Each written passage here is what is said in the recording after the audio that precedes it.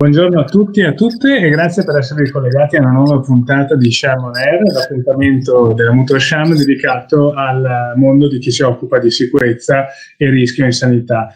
Io sono Tommaso Vesentini, mi occupo della redazione di Sanità 360, che è un po' la, la casa, lo spazio online dedicato ai risk manager e agli esperti in sicurezza delle cure eh, in Italia, edito dalla Mutua Sham. Oggi, per entrare subito nel video, parliamo di un trasferimento, un trasferimento di informazioni dalla gestione dei sinistri alla eh, gestione del rischio. È quello che si chiama gestione integrata del rischio, ovvero far trasferire il, eh, l'informazione dalla reattività alla proattività. È un momento particolarmente attuale per parlarne perché il risk management non solo sta vivendo una stagione di eh, sempre maggior risalto all'interno della gestione e della eh, organizzazione sanitaria, ma stiamo vivendo un'attualità di emergenza nella quale sempre più eh, domande arrivano al risk management per chiedergli cosa fare fondamentalmente davanti all'emergenza del Covid e alla crescita eh, dei contagi.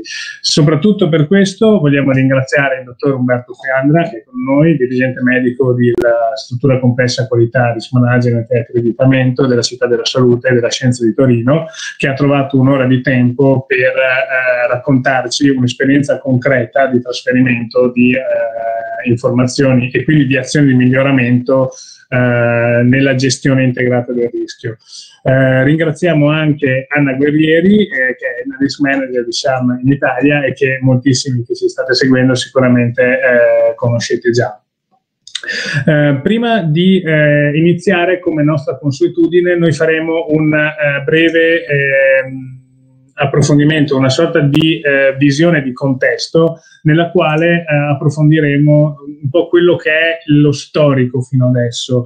Eh, lo faremo con il dottor Fiandra, al quale eh, do subito la parola chiedendogli un po' qual è stato il percorso che ci ha portato dagli ultimi anni ad ora, nel quale il risk management è diventato eh, sempre meno reattivo, ovviamente non più reattivo ma sempre più attivo e non più esterno ma sempre più centrale nel processo di gestione eh, delle informazioni e della programmazione sanitaria.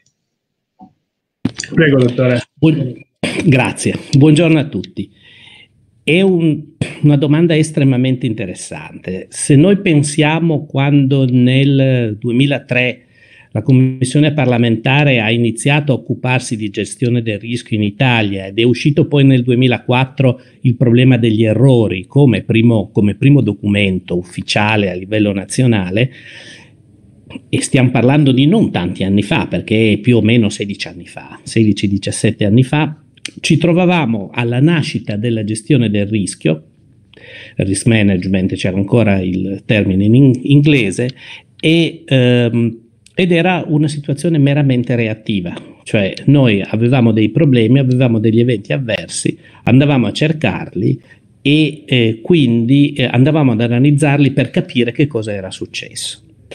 Dopodiché il, dall'essere meramente reattivo nel tempo, ci sono voluti molti anni, intanto i clinici hanno iniziato a capire e a confrontarsi anche in Italia sul fatto che ci potessero essere degli eventi avversi e che questi eventi avversi avessero dei fattori di rischio ad essi correlati che potevano essere corretti. Dopodiché avanza progressivamente progressivamente la conoscenza, vengono messe a disposizione dal Ministero tutta una serie di strumenti, strumenti di analisi, anche manuali ministeriali su come utilizzare strumenti come l'audit, come la, l'analisi delle cause profonde o root cause analysis che si, fosse, che si voglia dire. In inglese, per poi arrivare nel 2017 finalmente a una legge, che poi è la Gelli, che ci dà una, una piena dignità nella gestione del rischio e ne dà un'importanza fondamentale. Allora, tutti hanno diritto ad avere delle cure che devono essere sicure. Dove devono essere fatte? Ovunque, in tutte le strutture sanitarie, pubbliche, sanitarie, sociosanitarie, pubbliche e private, e chi deve concorrere alla, eh, alla gestione del rischio per ridurre gli eventi avversi in sanità? Tutti. Quindi a questo punto, dall'essere un fatto che viene dopo, una reazione, la gestione del rischio viene a essere una parte costituente del management di un'azienda sanitaria. Nel senso che si passa dal dire quando qualcosa va storto andiamo a vedere che cosa è successo e facciamo un'azione correttiva, quindi reattivo, a una fase proattiva, andiamo a progettare, prima di mettere su un nuovo percorso, vediamo che cosa può andare male, a una fase predittiva, io il, la gestione del rischio entra talmente tanto all'interno della gestione dei processi aziendali che io devo costruire un sistema che deve essere safe, safe per default e per design, cioè è parte costitutiva del management dell'azienda. In questo senso abbiamo l'enorme evoluzione della gestione del rischio. Oggi il pensare di progettare un processo sanitario che non sia di default safe è impensabile, ma è la stessa cosa che vi è accaduto prima, che è accaduto con la 626 e poi con l'81, che è un'altra faccia della medaglia della sicurezza, la sicurezza del lavoratore. Oggi nessuno potrebbe pensare di, eh, di costruire un processo industriale che non sia di, di default sicuro per i lavoratori, perché sarebbe un criminale criminale. Quindi anche nella gestione del rischio, delle, quindi della sicurezza delle cure, noi nella visione moderna abbiamo una visione sistemica e manageriale della gestione del rischio che entra in tutti i processi sanitari che all'interno delle strutture sanitarie e sociosanitarie devono essere di default sicuri. Questa è l'evoluzione che c'è stata. Ecco, mi, mi, inserisco in questo per subito coinvolgere subito Anna nella discussione perché lei, diciamo, eh, dottore, ci ha raccontato eh, un'evoluzione storica che nasce da, eh, sia dal basso che dall'alto, in qualche modo confluisce quando lei dice chi deve occuparsi di ehm, sicurezza sono tutti, perché tutti i processi devono essere concepiti come sicuri ormai, non soltanto o nel, nel caso dei vecchi processi aggiornati o eh, completamente ingegnerizzati fin dall'inizio.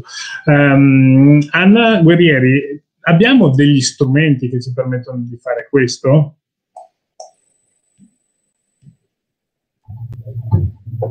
Intanto anche da parte mia, buongiorno a tutti e grazie di esserci e di ascoltarci.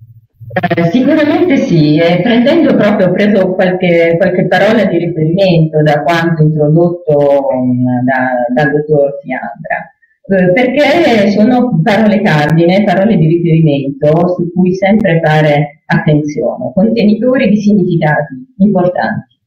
Eh, si è parlato di tutti, sicuramente sì, la gestione del rischio clinico, la, del rischio in genere, anzi declinati al plurale dei rischi, eh, e responsabilità, e anche questa è una parola che sottolineo, di tutti ed è una cultura diffusa che dobbiamo sostenere, implementare, far crescere sempre di più nei contesti sociosanitari, a tutto raggio. E Sham in questo è protagonista. La sua matrice proprio mutualistica la porta e questa, uh, questa presenza, questo affiancamento per un contributo fattivo, concreto sul campo.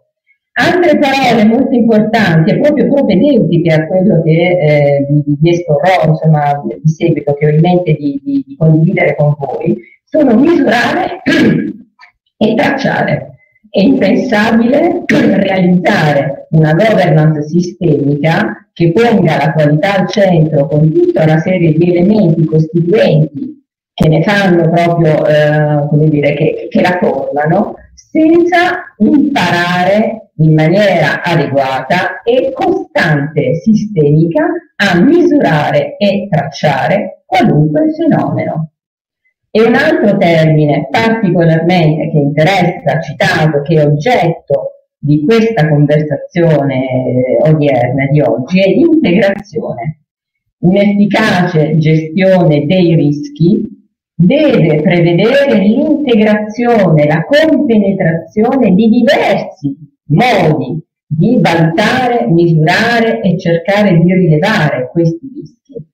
Soltanto una modalità, tipo l'iniziale momento che il dottor Chiandra ha descritto, la fase reattiva, piuttosto che solo fase proattiva, non porta, non ci conduce in quell'integrazione efficace che permette l'esplosione dei significati, che permette di valorizzare veramente tutto quanto raccolto e di inserirlo fattivamente in forma ottimizzante quello che è il nostro modo di lavorare, il nostro sistema di lavorare. Come vedete nella slide, mi piace particolarmente perché ci sono le rotelle che si incastrano, è esattamente questo. Siamo parti di un sistema complesso. Dobbiamo diventare sempre più responsabili di questo nostro agire, di questo, nostro, di questo nostro essere dentro un meccanismo più grande di noi, ma che senza il nostro apporto non funziona,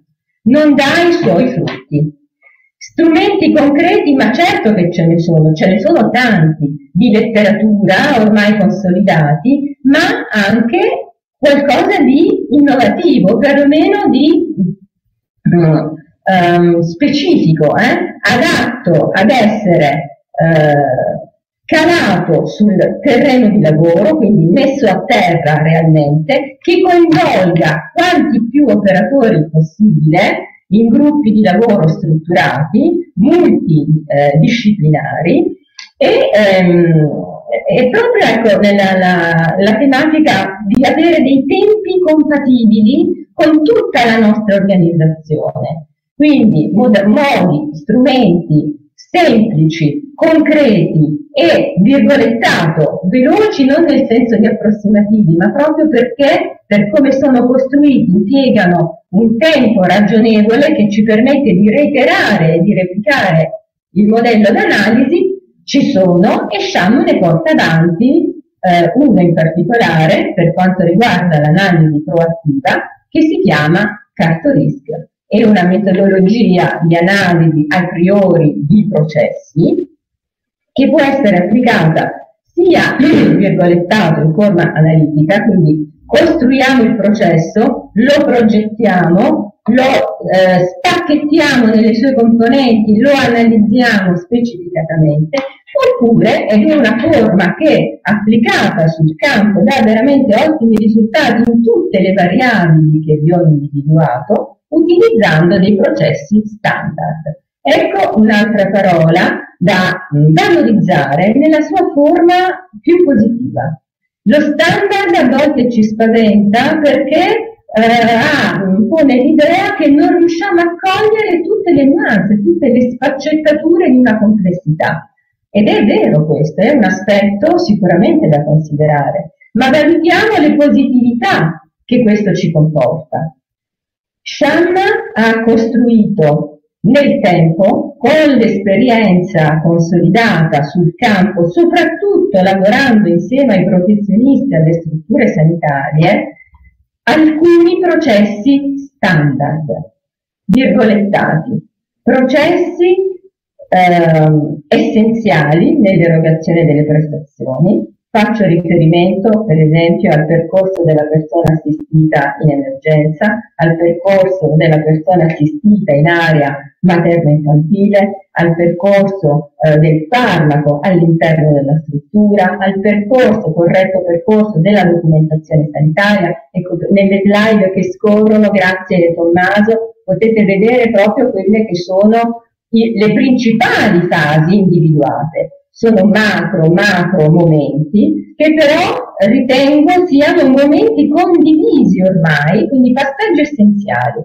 Relativamente a questi passaggi essenziali sono stati individuati una serie di rischi principali o perlomeno quelli che l'esperienza consolidata sul campo ha fatto rilevare. Vi parlo in particolare di un processo che è quello materno-infantile, che è stato strutturato in dieci sottoprocessi essenziali. Se lo fai vedere benissimo, grazie Tommaso, è esattamente questo.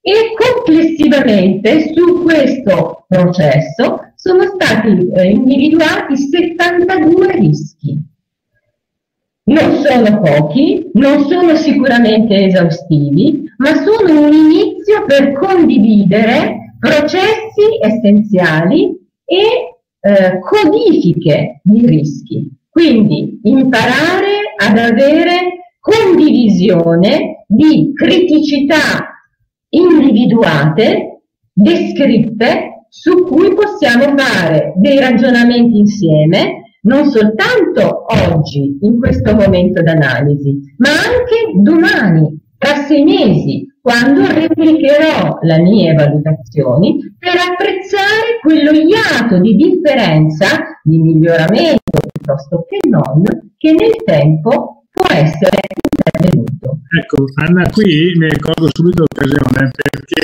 secondo me è, è proprio questa prospettiva di continuità che ci può eh, accompagnare nel capire effettivamente nel concreto come funziona questo strumento, come può essere applicato a un eh, territorio intero, una regione, una, una, diciamo, un processo verticale con tutte le unità operative coinvolte, partendo appunto dai singoli processi analizzati, coinvolgendo il personale, coinvolgendo i risk manager, tutto. C'è una, una storia fondamentalmente che poi è uh, una, best, una, delle best practice che, che, presentiamo oggi e che è avvenuta proprio nella regione Piemonte.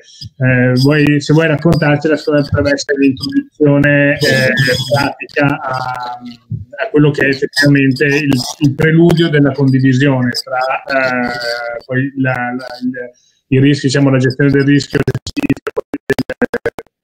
e invece la gestione proattiva del rischio.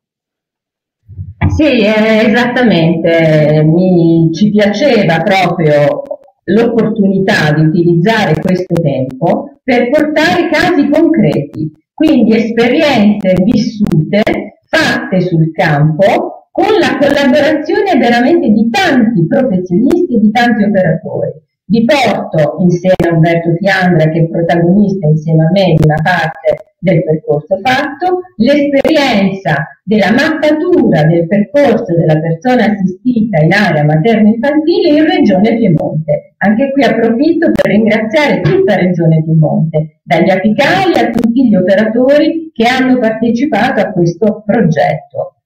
L'applicazione del metodo, quello che vi ho descritto sommariamente, eh, denominato Cartorisk su tutto il territorio piemontese, le unità operative eh, di ginecologia ostetricia, comprese il percorso nascita sul territorio. Hanno partecipato a questa attività, a questo lavoro, 25 unità operative sono stati, hanno lavorato con noi 300 professionisti sanitari, compreso il dottor Fiandra e i colleghi del dottor Fiandra. E questa è stata già nella nostra progettualità un primo momento di analisi, che poi verrà affiancato con la fase 2 che specificheremo nel, nel proseguo della, della conversazione. Ma focalizzandoci sui risultati che abbiamo ottenuto. È stato un lavoro intenso, un anno e più di attività sul campo che ha permesso appunto di mappare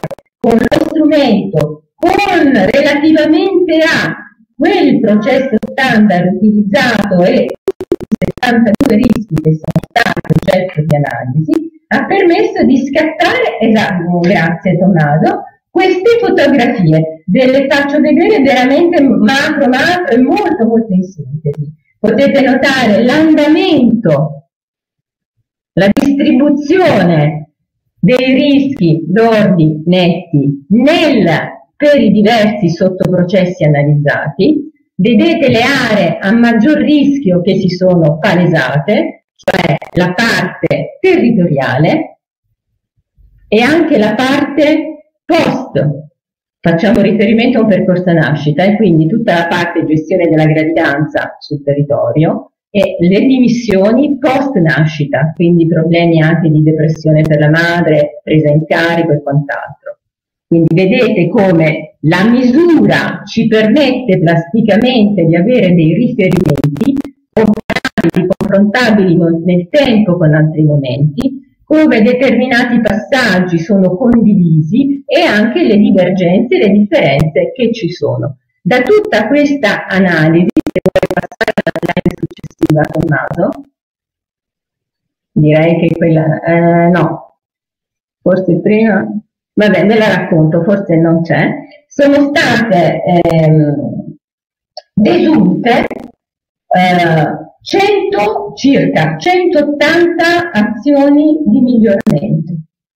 Ogni azione di miglioramento, anche la più piccola, prevede un progetto specifico di realizzazione con una persona responsabile, un tempo medio di realizzazione, step di monitoraggio dell'azione stessa. Per facilitare la comprensione, diciamo eh, una fotografia macro anche di tutte, di tutte quelle correzioni che sono in corso d'opera, sono state individuate 47 tipologie di azione e 13 macro aree di intervento. Vuol dire lavorare insieme per ehm, obiettivi individuati che hanno codifiche specifiche e che possono essere misurati nel tempo per apprezzare i cambiamenti. Questo è veramente un buon esempio di come un metodo di lavoro sul campo semplice, contratto in tempi ragionevoli, ma condiviso da una comunità, da una collettività, può dare veramente grossissimi vantaggi. Vantaggi oggi per comprendere un fenomeno, vantaggi per, soprattutto sottolineo, monitorarlo nel tempo per capire cosa stiamo facendo. E quindi questa è una fase principale, tutta la proattiva che abbiamo svolto. Questo è esattamente diciamo, il, il, diciamo, il punto, le, quell'esperienza sul campo che eh, sarebbe importante anche eh, raccontare dal punto di vista dell'azienda sanitaria, nel senso lei, dottor Feandra, ha partecipato a questo processo, qual è stata la sua esperienza? Già solo partecipare al progetto è utile. Io professionalmente eh, ho condotto due vite perché nasco come un clinico puro sono un medico geriatra e a un certo punto della mia vita professionale ho preso una seconda specialità in igiene e medicina preventiva e ho iniziato a lavorare ormai 15 anni fa in direzione medica. Ehm, a noi colleghi, eh, noi non siamo ingegneri e durante tutto il nostro percorso di formazione abbiamo una formazione che è molto individualista, che ha sicuramente dei vantaggi perché ti mette in grado di fare il medico da solo, perché fondamentalmente il percorso di laurea forma dei professionisti che sono in grado di svolgere la uh, professione medica. Ora, una cosa è fare il medico di medicina generale all'interno di un proprio studio, una cosa è essere integrato all'interno di un'azienda sanitaria in cui vengono svolti dei, eh, dei percorsi molto ma molto complessi attraverso processi. Dopodiché, noi sicuramente nessuna azienda sanitaria italiana eh, è governata con un sistema di TQM cioè il total quality management lo vedo di difficile applicazione in una e. Una gestione per processi non è la norma, anzi noi siamo, abbiamo una struttura che è basata per funzioni, esattamente quello che qualsiasi ingegnere ti dice che non funziona. Quindi già e molto spesso noi siamo costretti in base alle funzioni che abbiamo eh, a fare un processo in una maniera o in un'altra non, è difficile parlare di Kaizen eh, all'interno di, una, di, un'azienda sanitaria, dicono ma che cos'è un manga? No, il pensare di avere ad esempio lo stabilimento, l'ospedale 22, l'ospedale 24, tipo lo stabilimento 22, lo stabilimento 24 di, dell'azienda e trasferire un professionista dall'uno all'altro, lo metti nella postazione, sono esattamente uguali e puoi iniziare a lavorare, in un'azienda sanitaria è poco proponibile. Per cui già soltanto per motivi di sicurezza, con anche un alto valore etico e quindi interessi professionisti perché vanno a vedere un po' quello che non funziona, iniziare a studiare dei percorsi per processi e non per funzioni è un fatto utilissimo perché nell'esperienza che abbiamo fatto noi applicando un metodo di analisi proattiva che abbiamo forzato su dei processi che sono sicuramente diversi perché le aziende sanitarie sono tutte diverse l'una dall'altra, però ha costretto tutti i professionisti che su quel processo insistono a vedere di una traccia su cui loro si devono poi comunque uniformare. Quindi una reazione sicuramente l'ha avuto, una maggiore omogenizzazione, quantomeno nella rilevazione di quelli che possono essere i potenziali di servizi sul processo c'è stata. Tenendo conto che, visto che ci piace vincere facile, abbiamo preso un processo che è tanto già in qualche maniera guidato, perché è guidato dall'agenda della gravidanza da cui sfuggono poi tutte le pazienti che si fanno seguire privatamente dal loro ginecologo, che però comunque molto spesso lavora anche in un ospedale, quindi l'agenda della gravidanza lo conosce. Però sicuramente già solo il partecipare e quindi far ragionare per processi, io ti do uno strumento che ti fa un'analisi a priori. Eh, cos'è? Allora, noi abbiamo un processo, lo spacchettiamo pezzo per pezzo, andiamo a vedere quali possono essere i guasti che effetto ti danno e anche il livello di criticità. Questa roba si chiama FNECA, semi-quantitativa, però alla fine della fiera è un passo avanti enorme, perché ricordo, non siamo all'interno di un'azienda dove quando chiedo a un ingegnere quel determinato pezzo che sinistrosità ha e mi dice ma l'MTBF di quel motore è 580 ore. Però se spendiamo 50 euro in più lo portiamo a 720 perché prendiamo il motore migliore da noi non è così. Il mean time between failure ti fanno, eh, cos'è? Giustamente abbiamo uomini, non abbiamo macchine. Eh, Però comunque sta... ci riporta, mi, mi scusi se interrompo, però mi viene spontaneo, ci riporta a, diciamo, a un, um, al livello che è quello dei dati, delle informazioni, nel senso perché di fatto non è che sia diverso in maniera del tutto proprio concettualmente la ricerca di un'informazione precisa, è che un'informazione precisa è molto più complessa nel vostro campo che in un motore sostanzialmente.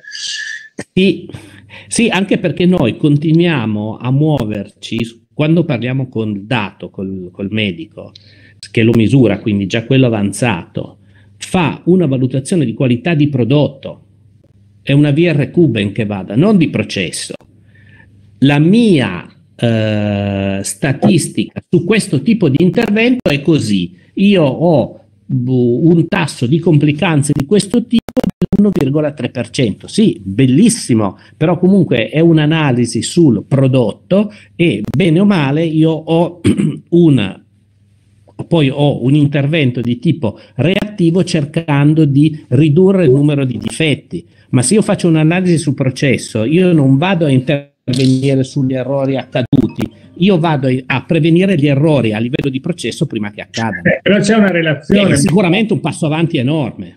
Esatto, perché era, era il secondo idea infatti che volevo proporre, cioè voi avete fatto due passi avanti, il secondo è anche fare un confronto, cioè la vostra è stata sì una, un'esperienza a priori, ma, o per meglio dire una mappatura a priori, ma ha attinto a quello che è lo storico. Sì, se mi mettiamo le diapositive. Sì, eccola qua, l'avevo, la stavo guardando. Perfetto. Un po' più indietro, alla 15. Questa qua. Ecco.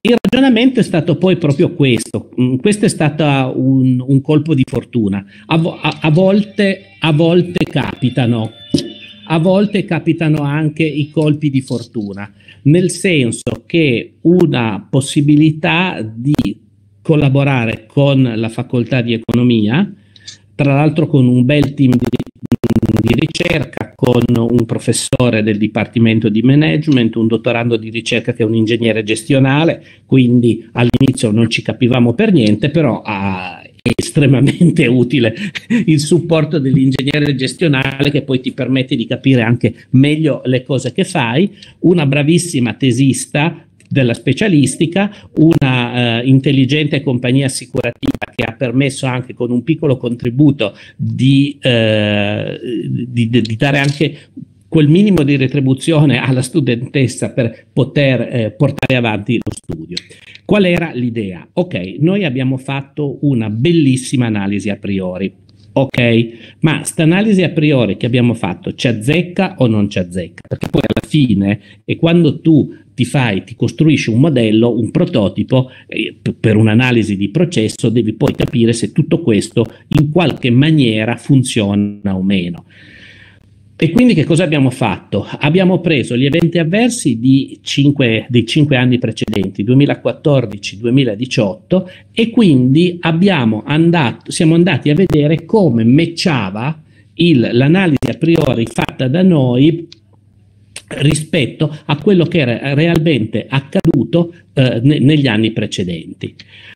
Dopodiché, qua bisogna notare che sicuramente un bias c'è. Allora, quando tu fai un'analisi di processo per andare a cercare dei fault, non è detto necessariamente che il danno determinato dal fault si renda manifesto, si rimenda manifesto esattamente per ciò che è stato e dia poi luogo a un contenzioso, perché noi andiamo, siamo andati a cercare quelli che erano eventi avversi e contenziosi degli anni precedenti. Non è detto che emergano tutti e non è detto che poi tutto quello che emerge sia poi conseguente a un fault del processo, ma potrebbe essere dovuta per motivi pretestuosi a tutt'altro. Però fatta la tara che comunque ci deve essere, in realtà il, eh, è stato estremamente interessante andare a fare il confronto.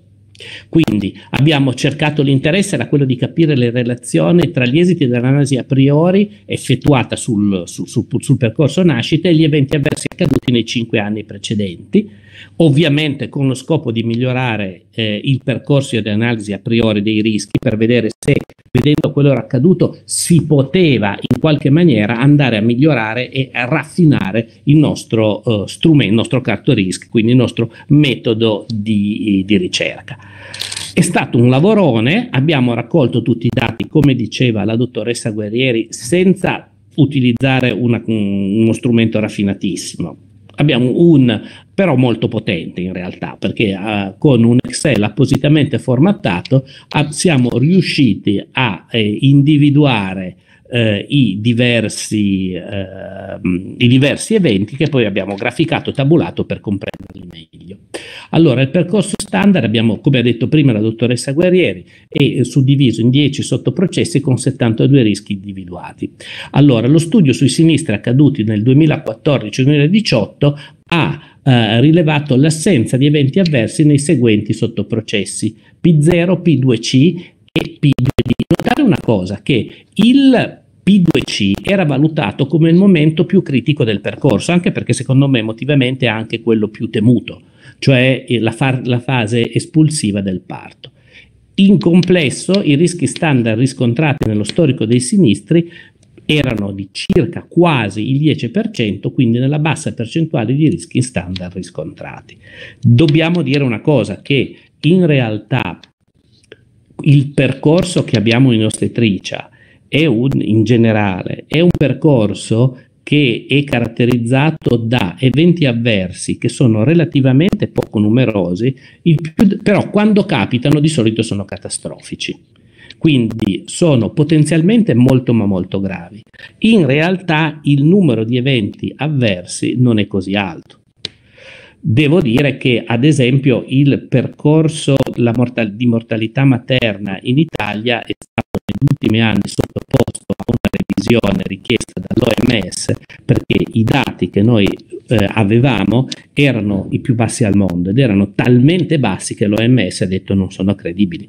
Per cui in realtà andando a rivedere sistematicamente tutte le morti materne avvenute nel periodo della gravidanza e del puerperio si è visto che alcune parti, alcune di queste morti andavano perse, per cui i dati, pur rimanendo ottimi, sono diventati un po' più elevati.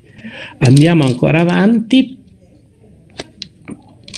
Allora, allora, eh, il percorso standard utilizzato per l'analisi eh, del processo ha posto un maggiore accento sulle attività organizzative di comunicazione dell'equipe del lavoro, però eh, e potrà essere implementato con nuovi rischi rilevati a maggior valenza clinico-assistenziale. Allora, i rischi netti oggetto di azioni di miglioramento che l'analisi a priori ha percorso 2018 ha evidenziato che non sono presenti nei sinistri caduti nel periodo 2014-2018.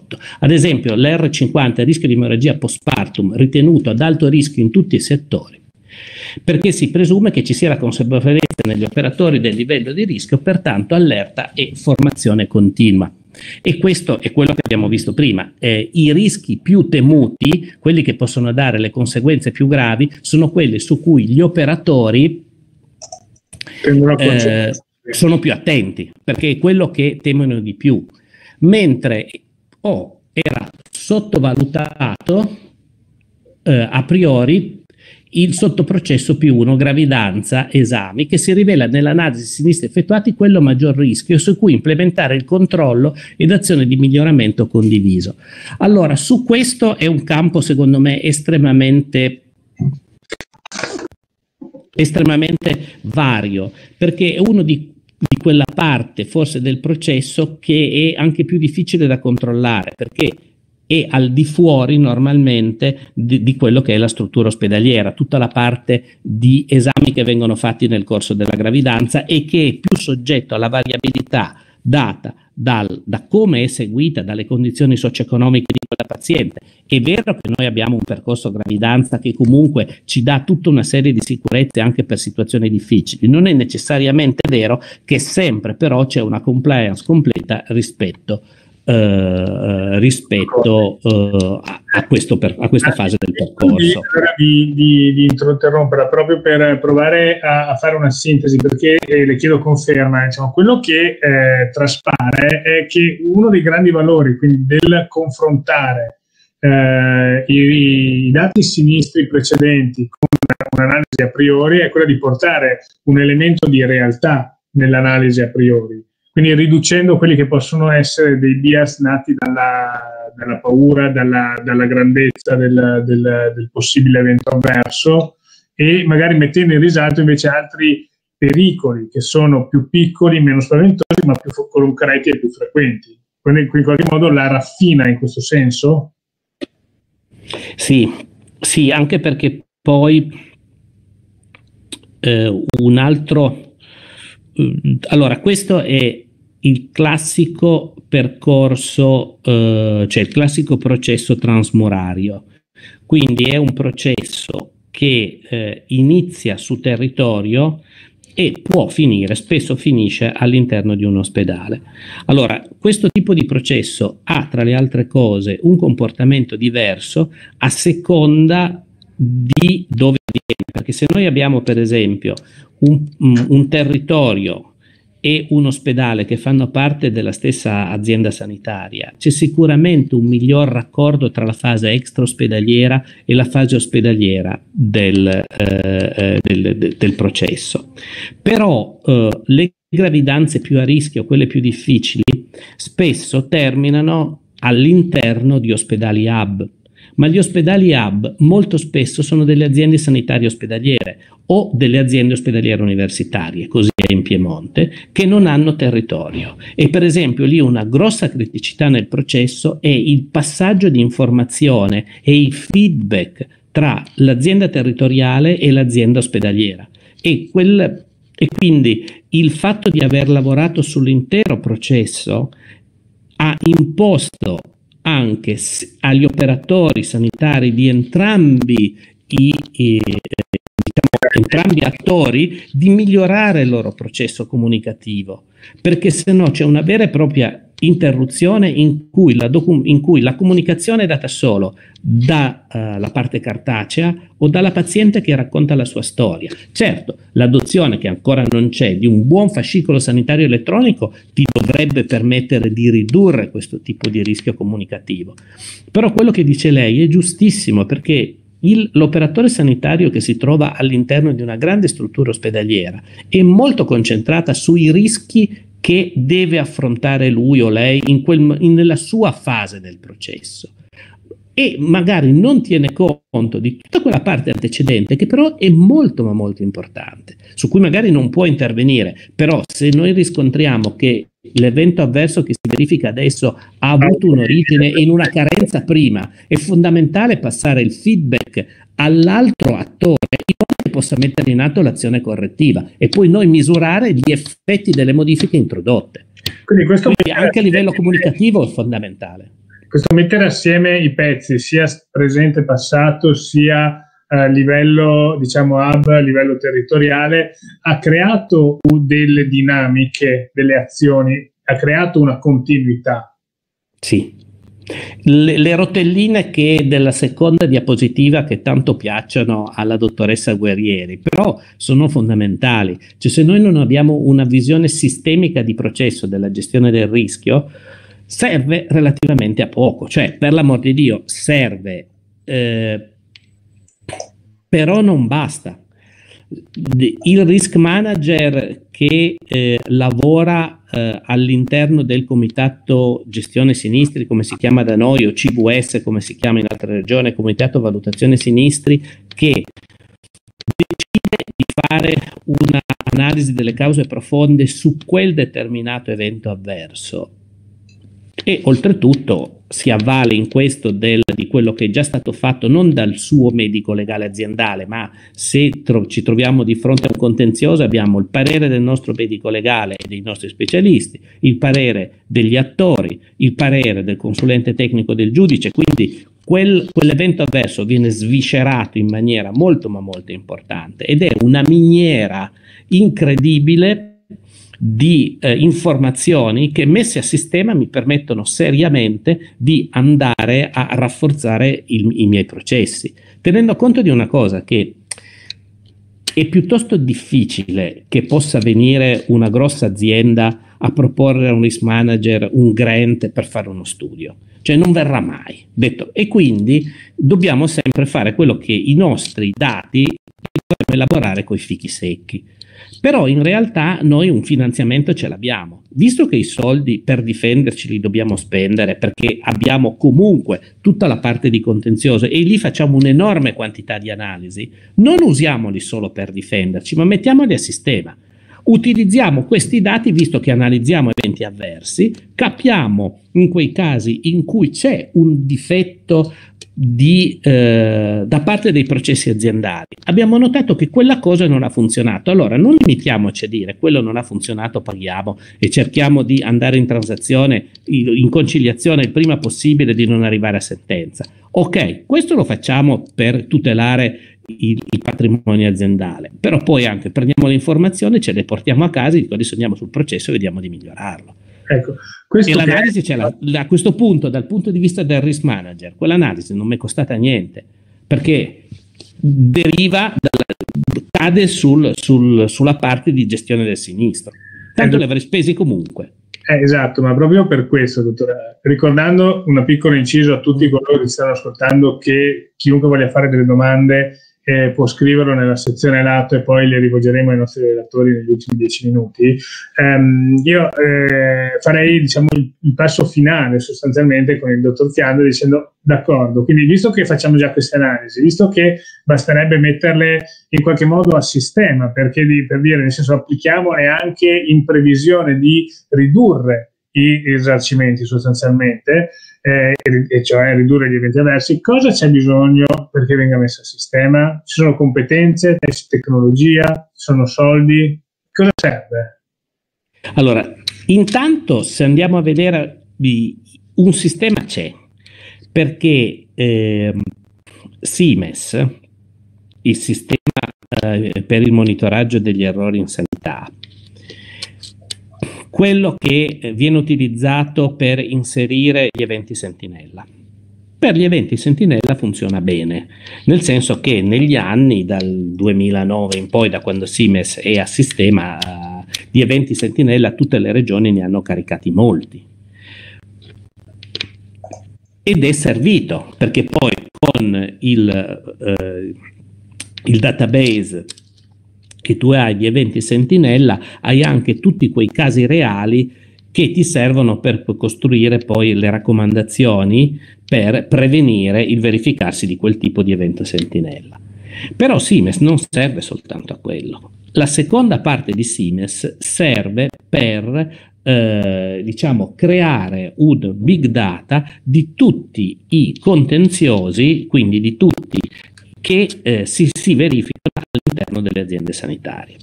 Allora, al di là del fatto che ci sono anche degli obblighi di legge dati dalla GELI di pubblicare questi dati, ma se raccolti in maniera sistematica e eh, strutturata, questi dati sono estremamente utili, intanto perché sono molto più degli eventi sentinella perché sono decine e decine di migliaia di eventi. Il problema è costruirli e caricarli bene, nel senso che da quel punto di vista lì in molti casi c'è diciamo una sottoutilizzazione, no, spesso non è stata fatta una formazione ad hoc chi carica questi dati molto spesso ha una formazione più di tipo eh, legale amministrativo che sanitario, per cui diventa anche difficile capire come incasellare quel determinato tipo di dato. Però se noi riuscissimo a, permettetemi il volo pindarico, a trascrivere un fatto di contenzioso in una specie di SDO del contenzioso, alla fine avremmo un potente strumento di, eh, elabora- di costruzione e di elaborazione dati che ci permetterebbe di mettere a sistema questa enorme esperienza. Questo, è una e, e questo andrà fatto, questo è inevitabile. Andrea, che, mm, che panoramica vedi con, diciamo, con questa trasformazione? Che, che scenario può costruire secondo te anche nel rapporto tra nel rapporto vasto diciamo tra eh, risk, assicuratore risk manager esterno e eh, risk manager interno azienda sanitaria um, penso che sia l'integrazione necessaria fattibile e realizzabile estremamente utile. E poi ecco proprio l'esperienza contratta sul campo che vi stiamo raccontando ne la prova diretta. Tutto questo si può fare mantenendo gli interessi specifici di ogni attore che partecipa, ma focalizzandosi su quello che è il percorso comune che interessa tutti, cioè la riduzione dei rischi, la conoscenza di questi e una cultura diffusa che migliori veramente la consapevolezza e implementi, eh, fortifichi la variazione dei comportamenti dei professionisti. E questo può essere fatto. Queste sinergie possono essere create. Ciò che vi stiamo narrando oggi, come esperienza diretta, grazie anche al dottor Chiandra che ha partecipato, è proprio l'esemplificazione. Questo si può fare. Torno su punti essenziali di riassunto, se, se, se mi permetti, di, percorso che, che è stato fatto.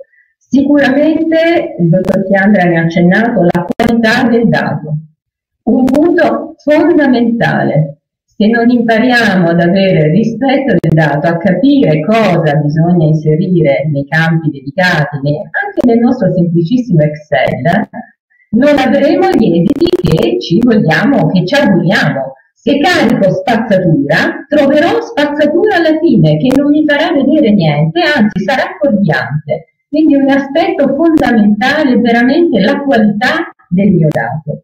Ciò che abbiamo fatto, l'esperienza di integrare una uh, modalità proattiva di analisi con le modalità reattive di analisi, ci ha veramente esemplificato il punto che lavorando su un dataset costruito bene, che a fianco alla definizione classica del sinistro con i dati assicurativi e ehm, gli accantonamenti piuttosto che fa riferimento anche a quello che già si dispone, no? a quello che già il Siemens ci chiede, ha integrato ancora con una profilazione del sinistro della storia che è accaduta, dell'evento avverso accaduto, con la sua eh, individuazione, collocazione in un processo, in un sottoprocesso identificato, permette veramente di trarre il massimo da questi avvenimenti e trasferirli poi nel nostro modo di lavorare anche proattivo.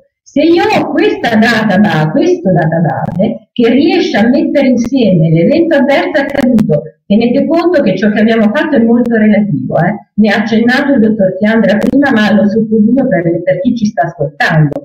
Proprio perché eh, progetto pilota abbiamo preso l'esame in considerazione i sinistri, virgolettato, richiesta risarcitoria pervenuta. Da questo punto, da questo primo eh, specchio d'analisi, si può allargare e possiamo pensare di costruire il nostro database di riferimento con fonte dati anche gli eventi avversi accaduti in genere, i sentinella, quindi con delle implementazioni. Tenete conto quanto si va ad implementare, quanto cresce, quanta questa mia raccolta diventa esplosiva nelle sue potenzialità. L'idea però che deve accompagnarci è che è necessaria una profilazione degli eventi accaduti, di ciò che prendo come base della mia analisi reattiva, che deve essere migliorata, migliorata nella qualità del dato, espansa, esplosa in quello che è il processo a cui l'evento fa riferimento. Ecco dove ci aiuta moltissimo il costruire insieme processi standard di riferimento, con sottoprocessi individuati, codificati, rischi specifici individuati, codificati. L'esperienza ci ha insegnato che da quanto era pensato nel nostro processo standard sull'area materno-infantile, eh, mm, sono stati, come dire, eh, importati, inseriti tutta una serie di nuovi rischi che di là non erano contemplati e che invece la realtà, il concreto, l'analisi del fatto accaduto ci ha tirato fuori. Se l'analisi proattiva era più orientata a modalità organizzative, l'analisi dei sinistri ci ha fatto vedere che ci sono tanti eventi proprio clinico-assistenziali e quindi l'interfaccia può essere fatta implementando il mio percorso. Quindi, succo veramente parola chiave l'integrazione. L'integrazione di modi di guardare le cose facente e costruire una cerniera tra questi mondi. La cerniera che costruiamo deve essere attenta, deve prevedere codifiche, deve prevedere misure, scale valoriali convenute tra tutte le persone attori del mio processo di analisi. Questo permette ovviamente la condivisione di una cultura che deve diffondersi e che può approdare poi ad una variazione del comportamento dell'operatore, che coinvolto in tutto questo, coinvolto nelle attività di analisi, in gruppi di lavoro specifici, comprende quanto la sua azione individuale fa la differenza, inserita in un sistema. Ecco, questo qua è diciamo, proprio sul discorso delle differenze, dottor Fiandra. Io le farei l'ultima domanda perché di fatto è, ed è un ritorno all'inizio, proprio alla, alla, premessa del nostro ragionamento. Lei dice che a un certo punto il, um, il risk management e tutte queste esperienze che si sono accumulate negli anni sono entrate a far parte non dei processi in atto, ma addirittura dell'origine dei processi, cioè vengono, vengono consustanziali, che è una parola forse un po' diciamo così accesa, ma sostanzialmente diventano eh, un, una parte del meccanismo di default dei processi. Ov- ovviamente tutto il percorso che noi abbiamo raccontato in quest'ora non può essere applicato a quella che è l'emergenza del, del momento, degli ultimi mesi, perché al Covid che voi vi trovate ad affrontare, perché ovviamente non c'è storico. Eh, ma l'esperienza di queste questi e altri eh, eventi vi ha aiutato, vi sta aiutando a costruire quello storico in vista anche di una, diciamo, di una, di una resistenza alla pandemia che probabilmente è sul lungo periodo o sul medio-lungo periodo? Sì, ehm, intanto la cosa fondamentale, la prima cosa da capire è comprendere che bisogna costruire uno storico. Forse la parte in cui noi siamo rimasti più, ehm, più discosti rispetto eh, per esempio alle compagnie assicurative è proprio che è una cosa che viene contestata spesso anche dalla Corte dei Conti e che quelle regioni che hanno adottato dei sistemi alternativi all'assicurazione tramite una compagnia assicurativa in realtà non hanno eh, costruito delle imprese assicurative regionali, cioè non è, non, ma dei fondi che vanno a coprire le spese però re, sostenute, però in realtà l'attività di una compagnia non è soltanto questa, cioè se noi non abbiamo uno storico dei sinistri adeguatamente catalogato su cui dei matematici che sono gli attuari fanno dei loro studi statistici per capire quali possono essere anche le previsioni, non, siamo, non stiamo facendo l'ultima parte di gestione del rischio. Accantoniamo semplicemente delle riserve perché qualora accadano degli eventi avversi abbiamo la possibilità di far fronte come spese, non sono delle spese straordinarie, basandoci come concettualmente sullo storico dell'anno precedente eh, o degli ultimi anni. Non si dovrebbe lavorare in questo modo, nessuna compagnia assicurativa può permettersi di lavorare in questo modo. Questo per quanto riguarda la gestione, come posso dire, economico-finanziaria del sinistro. Avere però uno storico importante degli eventi avversi ti permette anche di elaborare delle strategie. Perché se è vero che io posso imparare dall'errore, però per imparare dall'errore devo avere comunque contezza, avendo dei grandi numeri, di che cosa non ha funzionato. È il motivo per cui eh, nello stabilimento sempre di, delle solite imprese giapponesi perché sono stati i primi, in catena c'era la uh, cassettina dove l'operaio che tutto il giorno stringe bulloni e alla fine dice sì certo che però se potessimo spostarli due centimetri più in là io farei meno fatica, verrebbe meglio, eh, dà il suo suggerimento e scopre che, due, che quando riprogetta una nuova linea hanno preso per buono questo porta a un cambio della curva importante. importante diciamo. Eh. Quindi non è, quando si impariamo dagli errori, forse dovremmo dire impariamo dalla, dal complesso di migliaia di segnalazioni, di esatto. di record che tutti assieme indicano un trend, non diciamo esatto. questo potrebbe essere. E quindi diciamo con questo è stato molto diciamo in qualche modo molto concreta questa chiusura sua perché dice fondamentalmente l'ultimo passaggio del risk management è quello di arrivare alla sintesi matematica di tutto quello che è venuto prima è anche il primo passaggio del ciclo successivo veramente sì. è una, una, formazione ad anello e direi con questo che è una perfetta conclusione per la nostra eh, ora esatta di, di webinar io credo che tutti quelli che ci hanno ascoltato hanno avuto una, un trasferimento di un messaggio importante e concreto, nel senso vanno, vanno via con un piccolo mattoncino di consapevolezza in più di se è successo questo e ha queste implicazioni. Eh, perciò a me non resta che ringraziarla tantissimo. Grazie a voi. Grazie tantissimo da Anna Guerrieri e grazie a tutti coloro che eh, hanno dedicato un'ora del loro tempo ad ascoltarci e a dare significato al nostro essere qui e condividere un altro pezzo di eh, risk management, un'altra best practice fondamentalmente che trasferita in contesto dopo contesto dopo contesto per la legge dei grandi numeri di cui prima eh, può fare la differenza, può avere un impatto.